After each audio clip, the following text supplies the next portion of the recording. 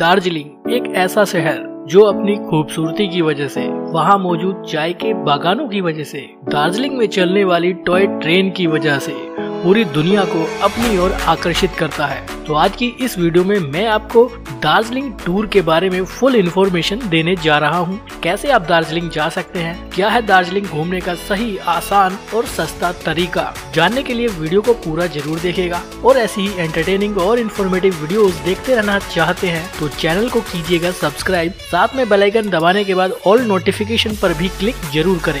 Video अच्छी लगे तो लाइक शेयर और सब्सक्राइब भी ज़रूर कीजिएगा, क्योंकि आपके लाइक सब्सक्राइब से मुझे मोटिवेशन मिलता है कि मैं ऐसे ही आपके लिए इन्फॉर्मेटिव वीडियोस बनाता रहूँ। तो प्लीज़ लाइक और चैनल को सब्सक्राइब ज़रूर करें। तो चलिए आज घूमते हैं दार्जिलिंग।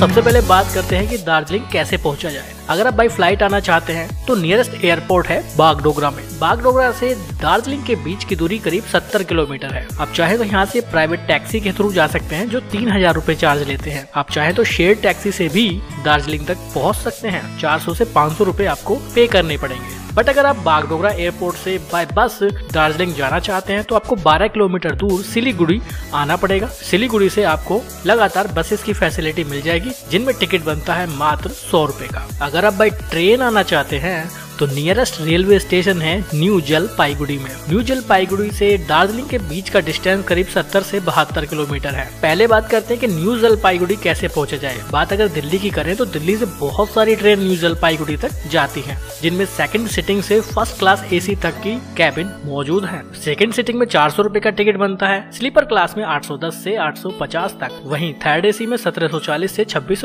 तक और सेकंड एसी में अट्ठाईस से सैंतीस रूपए तक। पे करना करना पड़ता और फ़र्स्ट क्लास एसी में 4150 से 4650 तक के टिकट में आप आसानी से दिल्ली से न्यू जलपाईगुड़ी पहुँच सकते हैं।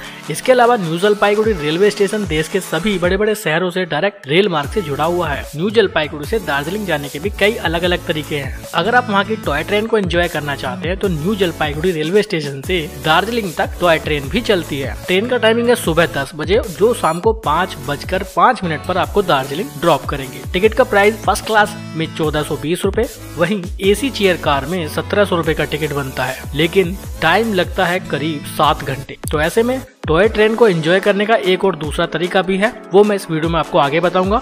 तो अभी वीडियो से जुड़े रहिए। इसके अलावा न्यू जलपाईगुड़ी से आप बाय शेयर टैक्सी भी जा सकते हैं। 200 से 300 रुपए मात्र आपको देना पड़ेगा और आप दो से ढाई घंटे में न्यू जलपाईगुड़ी से दार्जिलिंग पहुँच जाएँगे। बाय बस भी आप न्यू जलपाईगुड़ी से दार्जिलिंग तक जा सकते हैं। बाय बस अगर आप दार्जिलिंग तक जाना चाहते हैं तो दिल्ली की अगर मैं बात करूँ तो डायरेक्ट बस आपको मिलना बेहद मुश्किल हो जाएगा और दिल्ली से दार्जिलिंग के बीच की दूरी करीब 1517 किलोमीटर है, जो अपने आप में बहुत ज़्यादा है। तो ऐसे में मैं रिकमेंड नहीं करूँगा कि आप दिल्ली से दार्जिलिंग तक बाय बस जाए। बट अगर आप वेस्ट बंगाल, मेघालय, बिहार या आसपास के किसी दूसरे शहर से बिलोंग करते हैं तो आप बाय बस भी दार्जिलिंग तक आसानी से आ सकते हैं। आप चाहें तो रेंटेड टैक्सी पर्सनल कार या पर्सनल बाइक से भी दार्जिलिंग तक आ सकते हैं। इसमें भी आपको कोई प्रॉब्लम नहीं होगी। तो चलिए ये तो ही बात दार्जिलिंग पहुँचने की। अब बात करते हैं कि दार्जिलिंग आने के बाद स्टे कहाँ करें? कौन सी जगह बेस्ट होगी दार्जिलिंग में स्टे करने के लिए? देखिए, दार्जिलिंग बहुत ही खूबसूरत शहर है। यहाँ स्टे करने के लिए बहुत सारे होटल्स वगैरह आपको आसानी से मिल जाएँगे।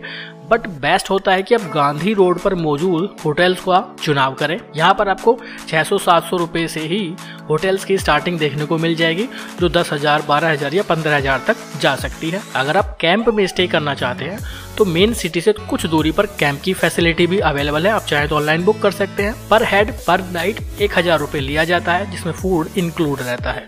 अगर आप सोलो हैं, अकेले चलते हैं तो आप हॉस्टल्स में भी रुक सकते हैं। हॉस्टल्स का चार्ज तीन सौ से स्टार्ट होता है, जो छह सौ, साढ़े छह सौ तक हो सकता है। अकॉर्डिंग टू फैसिलिटी ये हो जाते हैं दार्जिलिंग में स्टे करने के ऑप्शन अब बात करते हैं कि दार्जिलिंग आने के बाद क्या क्या करें, कहाँ कहाँ घूमने जाएँ, क्या है बेस्ट तरीका साइट सीन का। तो चलिए उस बारे में भी डिस्कस कर लेते हैं। दार्जिलिंग में लोकल साइट सीइंग अगर आप करना चाहते हैं तो आप चाहें तो वहाँ पर पैकेज बुक कर सकते हैं टूर एंड ट्रेवल्स के थ्रू जो सात से आठ साइट सीइंग कराते हैं और एक हज़ार से बारह सौ रूपए चार्ज लेते हैं। ये सारे साइट सीइंग चार से पाँच किलोमीटर के दायरे में होते हैं। आप चाहे तो टूर एंड ट्रेवल ऑफ़िस के थ्रू बुक करने के बाद भी इन साइट सीन को कर सकते हैं। और एक हज़ार से बारह सौ रूपए का जो रेंट है, ये नेगोशिएट किया जा सकता है, जो आठ सौ, एक हज़ार तक हो जाता है। आप चाहें तो शेयर टैक्सी के थ्रू भी इन सभी साइट्स को कवर कर सकते हैं। बहुत ज़्यादा खर्चा इनमें नहीं आता है। दस रूपए, बीस रूपए मात्र टिकट बनता है और आप सभी एक एक साइट्स को शेयर टैक्सी के थ्रू भी कर सकते हैं। सबसे सस्ता तरीका यही है। आप चाहे तो इन सभी साइट्स को आसपास मौजूद साइट्स को पैदल भी कर सकते हैं। जैसे आप हैप्पी वैली तक पैदल जा सकते हैं। ढाई से तीन किलोमीटर का रास्ता है। थोड़ा पैदल चलना पड़ेगा, लेकिन आप दार्जिलिंग के बेहद खूबसूरत नज़ारों को एंजॉय करते हुए पैदल भी जा सकते हैं। यहाँ पर एंट्री टिकट सौ रूपए का है। यहाँ आप टी गार्डन देख सकते हैं और दार्जिलिंग के बेहद खूबसूरत नज़ारों का लुत्फ उठा सकते हैं। मैं बात कर रहा था दार्जिलिंग टॉय ट्रेन की। अगर आप न्यू जलपाईगुड़ी से दार्जिलिंग तक बाय टॉय ट्रेन नहीं आए हैं और उसके बाद भी आप टॉय ट्रेन को एंजॉय करना चाहते हैं तो दार्जिलिंग में कुछ जॉय ट्रेन चलती हैं, जो दार्जिलिंग से घूम तक जाती हैं। ये सफ़र आठ किलोमीटर का रहता है। यहाँ पर आप चाहे तो इसको एंजॉय कर सकते हैं और टॉय ट्रेन में लुत्फ उठा सकते हैं। यह दो अलग अलग कैटेगरीज में टॉय ट्रेन चलती हैं, एक डीजल इंजन वाली और एक स्टीम इंजन वाली। दोनों के टिकट अलग अलग है। डीजल इंजन वाली ट्रेन में अगर आप सफ़र करना चाहते हैं तो टिकट बनता है एक हज़ार रूपए का। वही स्टीम इंजन टॉय ट्रेन का टिकट बनता है पंद्रह सौ रूपए का। थोड़ा कॉस्टली है, लेकिन एक घंटा पैतालीस मिनट का सफ़र रहता है, जिसमें जाना और वापस आने सारा इंक्लूड रहता है। अप एंड डाउन दोनों जर्नी रहती हैं। दस मिनट का एक स्टॉपेज होता है। आप दार्जिलिंग की सुंदर, खूबसूरत वादियों में टॉय ट्रेन को इस तरह से भी इंजॉय कर सकते हैं। लेकिन इसका सबसे सस्ता तरीका भी है। कुछ पैसेंजर ट्रेन भी दार्जिलिंग में चलती हैं, जिनका टिकट मात्र तीस रूपए का रहता है। आप उससे भी दार्जिलिंग की खूबसूरत वादियों को बाय टॉय ट्रेन इंजॉय कर सकते हैं। ये टॉय ट्रेन दार्जिलिंग और घूम के बीच पड़ने वाले बतीसा लूप पर भी जाती है। वहाँ रुकती भी है। दस से पंद्रह मिनट आप वहाँ घूम सकते हैं एंजॉय कर सकते हैं, वापस इस ट्रेन में बैठ सकते हैं और घूम जाने के बाद वो रिटर्न दार्जिलिंग आती है और ये पैकेज एक हज़ार से पंद्रह सौ रुपये का रहता है। इसके अलावा आप दार्जिलिंग में रोपवे को भी इंजॉय कर सकते हैं। रोपवे का टिकट टाइम सुबह 10 बजे से 2 बजे के बीच रहता है। इसी टाइमिंग में आपको टिकट बुक करना होगा। और रोपवे का स्टार्टिंग टाइम सुबह 11 बजे से 4 बजे तक रहता है। टिकट प्राइस दो सौ रूपए है। एडल्ट की और बच्चों की डेढ़ सौ रूपए रहता है, जो सीज़न के अकॉर्डिंग चेंज भी हो जाता है। अगर आप प्राइवेट रोपवे लेना चाहते हैं, यानी पूरा कैबिन बुक करना चाहते हैं तो बारह सौ रूपए में पूरा कैबिन भी बुक कर सकते हैं। इसकी टाइम ड्यूरेशन रहती है करीब बीस मिनट। ये राउंड ट्रिप जर्नी होती है। दो सौ रूपए में आप जाएँगे भी और वापस भी आएँगे। और एंड पॉइंट पर पहुँचने के बाद 10 मिनट का वहाँ स्टे होता है। आप उतर सकते हैं, वहाँ की शानदार, सुंदर, खूबसूरत नज़ारों को देख सकते हैं। अब चाहे तो उसी वाले रोप वे से या फिर नेक्स्ट रोपवे से वापस आ सकते हैं। टोटल 25 कैबिन पूरे रोपवे में चलते रहते हैं। ये एक्सपीरियंस भी दार्जिलिंग का बेहद खूबसूरत रहता है। रोप वे से ही आप दार्जिलिंग के टी गार्डन को देख सकते हैं। रोप वे से दार्जिलिंग पूरे शहर को भी देख सकते हैं। और भी बेहद खूबसूरत नज़ारे आपको देखने के मिलेंगे। आप रोप वे से कंचनजंगा पीक को भी देख सकते हैं। इन सब के अलावा आप इवनिंग में चौरस्ता आ सकते हैं, यहाँ आप कुछ अच्छा समय बिता सकते हैं, कुछ पीसफुल समय आपको यहाँ बिताने का मौका मिलेगा। आप माल रोड पर घूम सकते हैं, जो बेहद खूबसूरत है। बहुत सारी शॉपिंग आप माल रोड से कर सकते हैं। इसके अलावा एक मंदिर है, महाकाल धाम। आप चाहें तो वहाँ जा सकते हैं। पंद्रह मिनट का ट्रैक आपको करना होगा पहाड़ों पर, और आप महाकाल टेंपल तक पहुँच जाएँगे। इसको ऑब्जर्वेटरी हिल पॉइंट भी कहा जाता है। यहाँ से भी आपको माउंटेन के बहुत ही खूबसूरत बर्फ़ से ढके बहुत ऊँचे ऊँचे पहाड़ भी देखने के लिए मिलेंगे। कंचनजंगा पीक भी आप यहाँ से देख सकते हैं। ये एक्सपीरियंस भी बेहद खूबसूरत होता है। महाकाल धाम भी आप ज़रूर जाएँ। इसके अलावा नेक्स्ट डे आप कुछ दूर के ज़्यादा डिस्टेंस पर हैं, उन पॉइंट्स को भी कवर कर सकते हैं, जैसे रॉक गार्डन जिसकी दूरी दार्जिलिंग से 10 किलोमीटर है। इसके लिए आप वहाँ के लोकल साइट्स को कवर करने वाले टूर एंड ट्रेवल ऑफ़िस से कॉन्टेक्ट करके एक हज़ार से बारह सौ रूपए के टैरिफ में इन सभी साइट्स को कवर कर सकते हैं। बात करते हैं कि बेस्ट टाइम दार्जिलिंग घूमने का कौन सा है। दार्जिलिंग की अगर बात करें तो पूरे साल आप कभी भी आ सकते हैं। बहुत अच्छा अनुभव आपका रहेगा। सर्दियों में बहुत ज़्यादा स्नो होती है।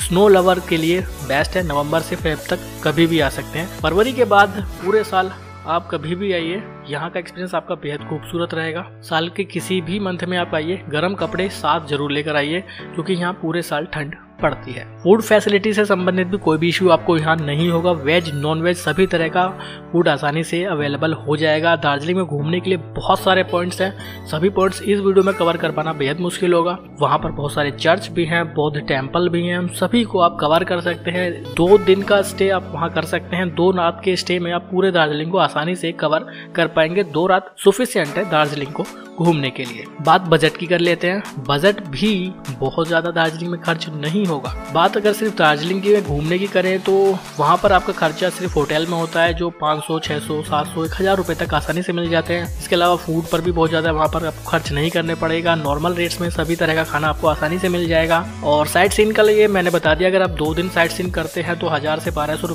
एक डे का हो जाता है। तो करीब पाँच से छह हज़ार में आप आसानी से पूरे दार्जिलिंग को घूम सकते हैं। बट अगर आप ग्रुप में आते हैं तो ये और भी सस्ता पड़ सकता है, क्योंकि एक दूसरे के साथ आप शेयर करके भी काफ़ी चीज़ें कवर कर सकते हैं। बट अगर आप पूरी जर्नी को शेयर टैक्सी शेयर बसेस इन सबसे करना चाहते हैं तो ये और भी ज़्यादा कम बजट में आप इस ट्रिप को इन्जॉय कर पाएँगे। तो ये थी दार्जिलिंग की वीडियो। कैसी लगी कमेंट बॉक्स में ज़रूर बताइएगा। कोई सवाल अगर रह गया है तो वो भी कमेंट बॉक्स में डाल दीजिए। वीडियो अच्छी लगी है तो कमेंट बॉक्स में हमें बताइए। वीडियो को ज़्यादा से ज़्यादा लाइक, शेयर करके जाइएगा। चैनल को सब्सक्राइब नहीं किया है तो वो भी कर दीजिएगा। ऐसी ही इन्फॉर्मेटिव वीडियोज़ आपके लिए हमेशा बनाते रहेंगे। बहुत